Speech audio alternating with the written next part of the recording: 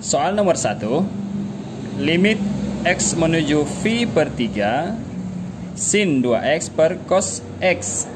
Soal ini kita akan selesaikan menggunakan cara substitusi langsung. Artinya setiap variabel X di dalam fungsi sin dan cos itu kita ganti dengan V per 3 Oke langsung saja. Maka ini kita uh, sin 2X 2 kali.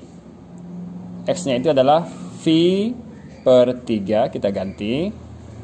Kemudian per cos X berarti ini cos V per 3 nah cos 2V per 3 V per 3 itu kalau dalam derajat itu 60 kali 2 itu berarti 120 sin 120 itu adalah seper 2 akar 3 kita tulis seper 2 akar 3 kemudian cos V per 3 V per 3 itu 60 berarti cos 60 itu adalah seper 2 maka ini kita bisa sederhanakan Seperdua akar 3 per seperdua ini kan kita bisa coret saja. Seperdua kita coret. Ini kan seperdua bagi seperdua 1 Tertinggallah 1 akar 3 atau akar 3 Jadi hasil akhirnya adalah akar 3 Jadi eh, itu eh, soal tipe pertama Kita substitusi langsung Ini adalah soal-soal menyelesaikan permasalahan limit fungsi trigonometri di satu titik tapi sebelum lanjut, jangan lupa untuk membangun channel ini dengan like dan subscribe. Bagikan ke teman yang lainnya agar banyak dapat kebaikan.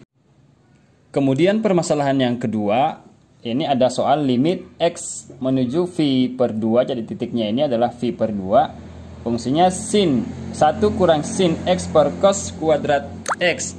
Maka ini kita kerjakan pertama kita tempuh dulu substitusi langsung. Maka setiap X ini kita ganti dengan V per 2. Nah, ini 1 kurang sin V per 2 per cos kuadrat Per 2 Oke. 1 kurang. Sin V per 2 ini 90 ya. Berarti ini sin 90 1 Oke. Kemudian di bawah eh, ini cos V per 2 cos 90 itu 0 ya. Ya kita kuadratkan saja seperti ini. Maka ini kan satu kurang satu kan 0 0 per 0 kuadrat 0 ini kan nilainya tak tentu. Ini eh, tak tentu. Maka ini bukan solusi. Nah, ini kita tempuh langkah yang kedua dengan cara faktorisasi sehingga limit x menuju v per 2 1 kurang sin x per cos kuadrat x ini kita faktorisasi terlebih dahulu oke di atas tetap 1 kurang sin x nah ini di bawah cos kuadrat x itu kita harus ingat ini adalah uh, identitas trigonometri identik dengan 1 kurang sin kuadrat x. Nah, ini yang kita akan faktorisasi. Di atas tetap 1 kurang sin x. Di bawah ini eh, 1 kurang sin x kali 1 tambah sin uh, x. Jadi ini harus latihan ya cara memfaktorisasi dan harus uh, memahami identitas trigonometri. Ini kan sama dengan di atas di atas dengan di bawah ini kan sama ini kita coret saja sehingga limit x menuju v per 2 1 kurang sin x per cos kuadrat x ini adalah limit x menuju v per 2 seper 1 kurang 1 tambah sin x ya. Dan tertinggal 1 tambah sin x. Maka ini sama dengan Nah, ini kita langsung substitusi. 1 per 1 tambah sin V per 2 1 per 1 sin V per 2 itu 1 1 per 1 tambah 1 2 jadi hasil akhirnya adalah 1 per 2 sekarang nomor 3 ini ada contoh soal. Limit x menuju 0 negatif 2 sin x tangen x per x kuadrat. Nah langkah pertama juga yang kita tempuh ini kita uh, substitusi langsung. Kita substitusi langsung dulu maka ini negatif 2 sin 0 kali tangen 0 per 0 kuadrat. Ini kalau sudah seperti ini di bawahnya 0 pasti ini tak tentu ya. Jadi sebenarnya kalau soal seperti ini kalau kita lihat kalau sudah ada berbentuk pecahan dan pembaginya itu eh, penyebutnya adalah 0 itu sudah eh, tak tentu atau tak hingga kemungkinan. Maka ini kita lanjutkan saja negatif 2 sin 0 0 tangen 0 0 per 0 ini kan kita akan dapat 0 per 0 dan ini tak tentu maka kita tempuh langkah yang kedua. Ini kita faktorisasi saja. Kita eh, kelompokkan saja ini. Limit x menuju 0 negatif 2 sin.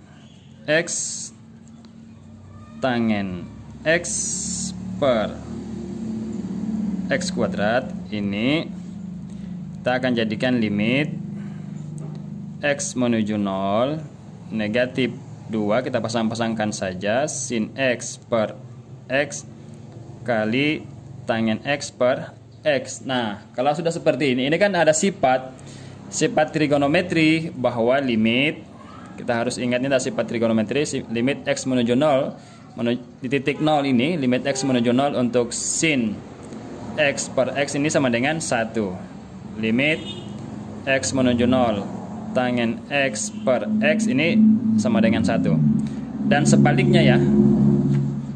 Ya maksudnya limit x menuju 0 x per sin x itu juga 1 limit x menuju 0 x per tangen x itu juga 1 ini teorema pembuktiannya ini dibuktikan menggunakan lingkaran dengan jari-jari 1 Oke, kita bisa uh, pelajari itu. Nanti kita tinggalkan saja dulu itu. Kita lanjutkan soal ini.